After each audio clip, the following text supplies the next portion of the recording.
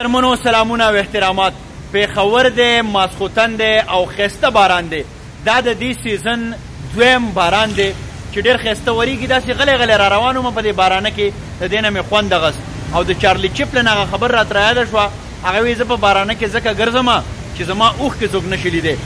ځان سره مې داسې نری غوندې زمزمه کوله چې په شا مې د دې پورې غره سي دار راوړی و یو پنډ مې د ټپو په ټوله لار راوړی و، دلته چې رالم په یو ځایي پمپ کې درې څلور مزدوران ولاړ دي، دا یاران ستړي شوي و، نو ماته یې وویل چې یا سړیه راشه راشه، ما یې نه اله په راځمه چې ټپه راته کوئ، دوی وویل چې ټپه خو نه شو کولی، خو ته یې وکړه نو موږ به خوشحاله شو، نو یو لمحې سوچ نه پس مې وویل چې یاره ټوله ورځ ستړي شوي دي، یو ځای کې تېل اچوه او بل ځای کې او هلکه داسې او مه کوه او زر او تادیو، نو ما یې کړه دوی دا ذهني ستړیا. زه په یو څو ټپو باندې راکمه کمه کېدای شي چې دیو ته یو سکون میلاو شي د دیو زړه خوشاله شي او زما خو دا جذبه ده چې که د نیت وي د کعبې د جوړولو د بیوسه انسان زړه جوړ که کعبه ده دا د لرې لرې دي مسافري کوي خو په ټپه مین دي بیا د دیو سره یو ملګری و چې دا د پمپ والا نه دی خو ده وي چي داسي کار دی چي تا دومره په مينه وي نو دا ټپې به درسره زه وکړم او ديو دي هسي ولاړي هلکه داسي ده که نه ده زما په دې خبرو کي صداقت شته که نشته بلکل صحيح خبري کوم ښه نو يو څو ټپې به وکړو ښه او مدام به زه در سره نه يم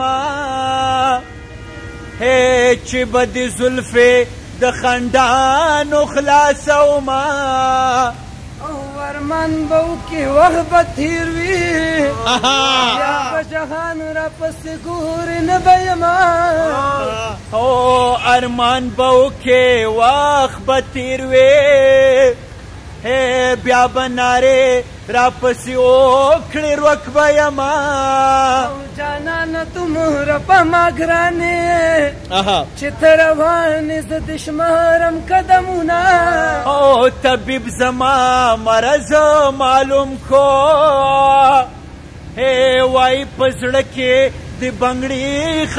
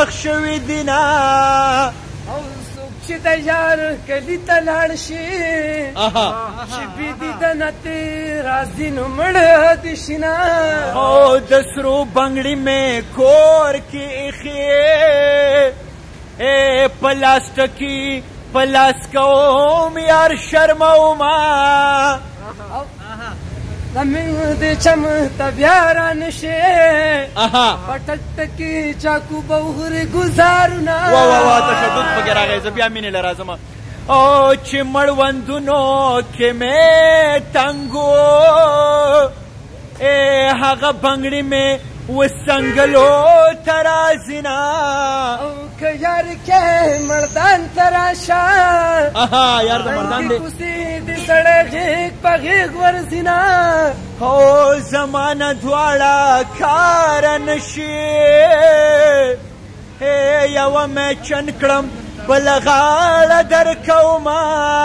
ته پکې ټپه کولی شي بچنګه شابسي نر بچوړی دی ویل ډن ویری ګډ چترالی دی کو کوټېوال دی او کوټېواله لهجه کې څه خبره وکړه کوټه کې د کوم ځای ها د ژوبې دلته سره راغلی پیښور سویم کې سبق وې په تیز باندې وای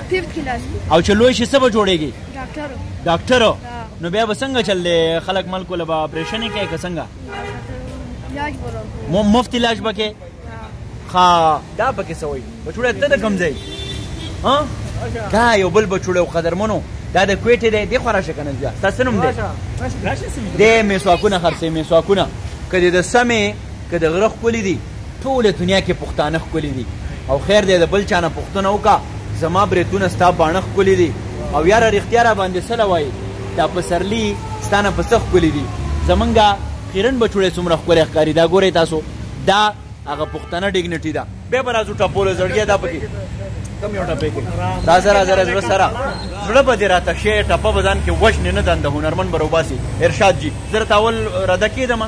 ته له خوشاله شي هي او جانان مې زیلې د زړه پرې کړې او لکه نختر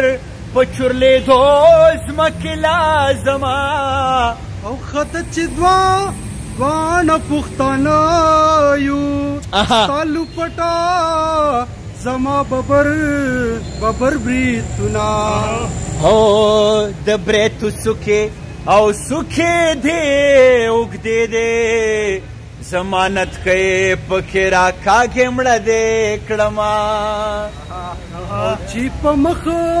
دې د هر چا لاړې پرتې وي او که ته ګل د سلو برشې څه دې کړم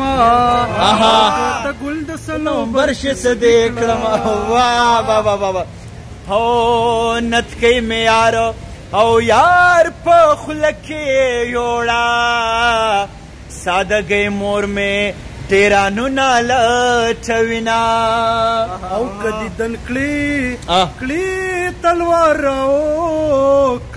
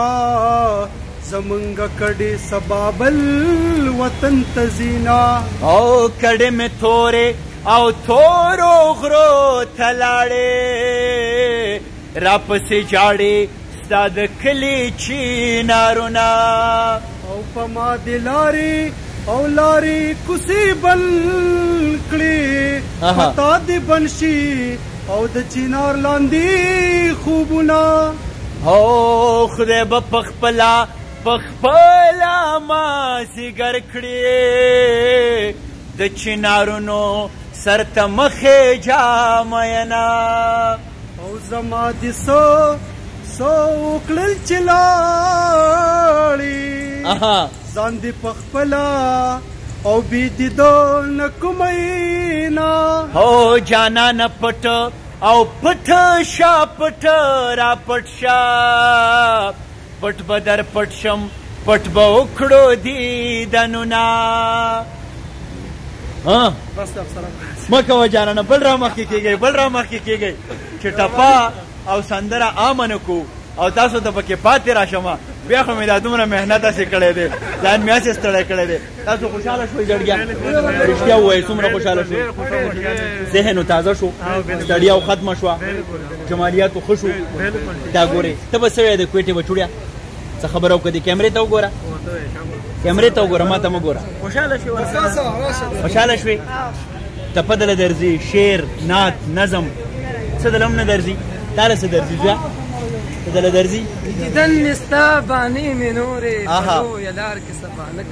ودرېږم قدرمنو د دې ځوانانو هم ډېره زیاته مننه کوم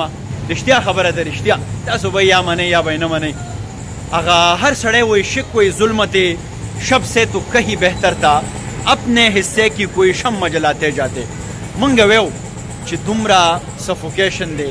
بیا په داسې هیواد کې نن زه تللی وم زمونږ دلته یوه کیفیټیریا ده نو د هغې په مد کې څه کسان راغلي وو څوک فوډ والا یو څه بل څه هغه ټولې چکرې چې مې والې به مې کاته چې څنګه ځوانان لګیا دي یو څه ډسکریج کیږي یا هغو ته ستونزې مسلې را جوړیږي په داسې حال کې چې ته ژوند را پیدا کې ته خلکو ته د روزګار موقع ورکې ته پرې خاوره باندې ګلپاشي کې ته دلته مینه خورې ته سندره خورې نو زما په خیال زه دا ګڼم چې که څوک یې هر څنګه بولي یا څوک هر څنګه سوچ کوي خو د دې به ټیک ټاک موږ ته ډېره ښه بدله راکولی کېږي ځکه چې موږ ته دا هیواد دا خاوره دا سیمه دا خلک د دیو ذهنیت د دیو منټلیټي د دیو سوچ معلوم دی نو موږ هم دا کولی شو خپل د برخې هغه لیدکی مو راغستی دی هغه ډیوه مو راغستې ده څوک خوشحاله شي څوک تپو کي څوک ژوند وکړي او دا پېښور به په شریکه باندې آبادو ملګري سلامونه کوي خو مخکې له دې نه چې په سیلفیانو کې راګیر شم نو هسې په دې ویډیو ویډیو کې تېروځم باید یو دومره خبره اوږده کړي د موږ نور کار روزګار پاتې شي اور بي غم ہے زمانه مې محبت کې سوا نو بس لاړه مته خادو سي آبادو سي او ژوند کوي چې د کومې زاویې نه کولای شي ژوند کول ډېر لوی هنر دی د لوی الله امان